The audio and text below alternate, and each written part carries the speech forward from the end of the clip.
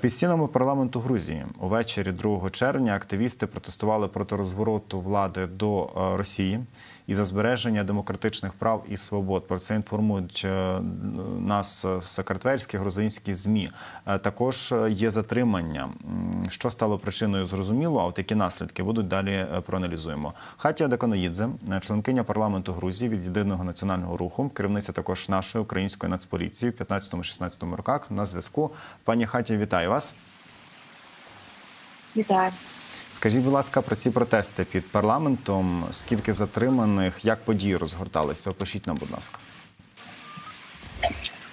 А, Вы знаете, постоянно возле парламента Грузии собираются активисты против классификации Грузии и против того, что арестовывают очень много людей. Вы знаете, что во время больших протестов 6-7 марта, когда а, мы протестовали за русское законодательство, там арестовали людей, э, было уголовное право, по уголовному праву, по кодексу, и они до сих пор очень молодые,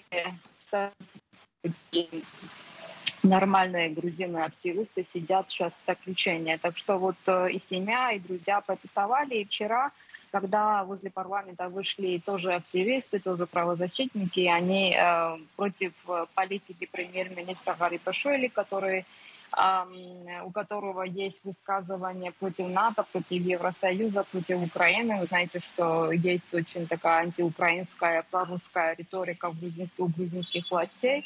Вот вышли люди для того, чтобы реально протестовать. Вы знаете, около 10 человек, а человек, по-моему, все правозащитники и активисты, арестовали тоже моего хорошего друга, адвоката э, господина Марикашвили, который сейчас сидит в Телаве в изоляторе, и не пускают тоже правозащитников. И сегодня в 9 часов уже будут э, протесты.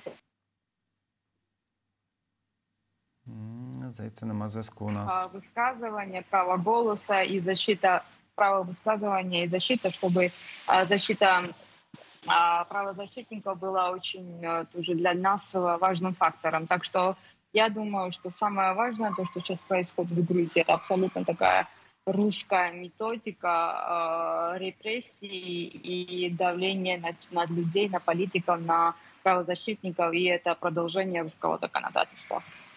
З польотами російським, з відновленням літаки летять, я так розумію.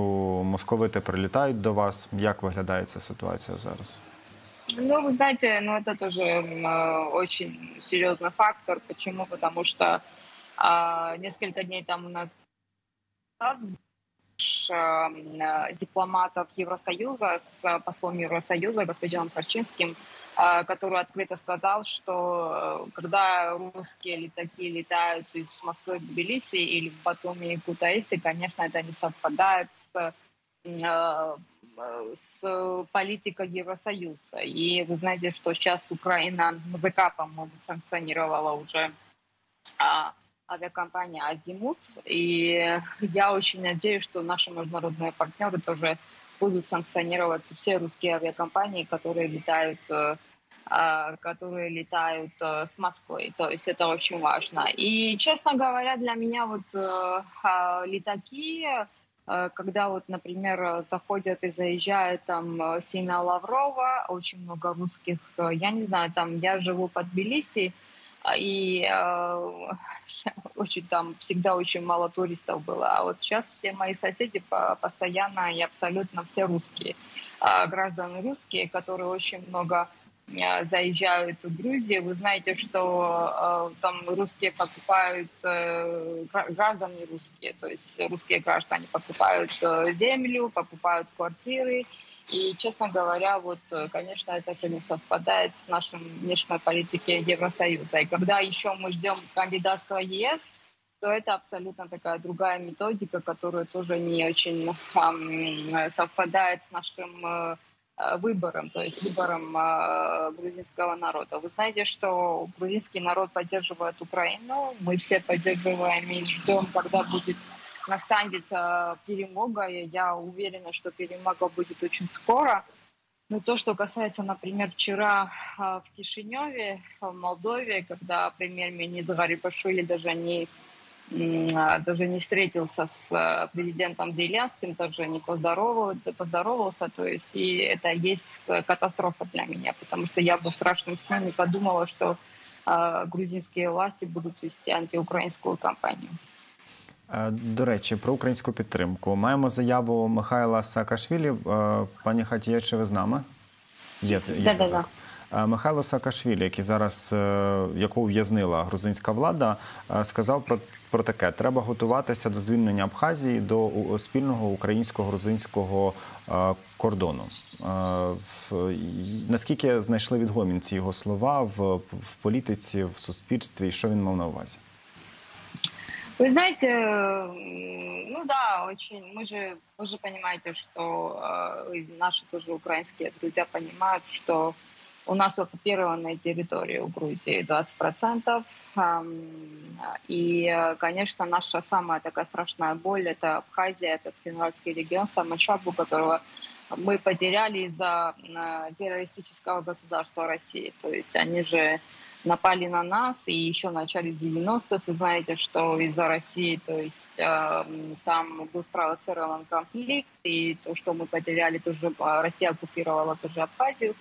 Это наша страшная, самая страшная э, боль, конечно, э, потому что мы не едины. А что касается, когда мы вернем Абхазию и Цинвальский регион, я думаю, что вернем, когда будет Грузия в Евросоюзе, когда мы будем НАТО, когда э, Украина победит, и когда, конечно, мы все э, сделаем так абсолютно, что избавимся от последнего русского солдата. И э, я думаю, что это будет очень скоро. Что касается слова Михаила, ну, вы знаете, да, он тоже эмоционально очень относится к событиям, которые происходят. Он в заключении сидит. А, и э, тоже со здоровьем было все не очень ладно. И, но я думаю, что освобождение политзаключенных только будет тогда, когда э, Бедина Иванишвили больше не будет у власти. Так что я думаю, что это тоже очень важный фактор. И э, вы знаете, очень многие наши друзья говорят о том, что да, все зависит, очень много зависит от Украины, от вас, от нас тоже. А мы должны бороться внутри страны, чтобы избавиться от прорусских всех э, тех, которые сидят у власти.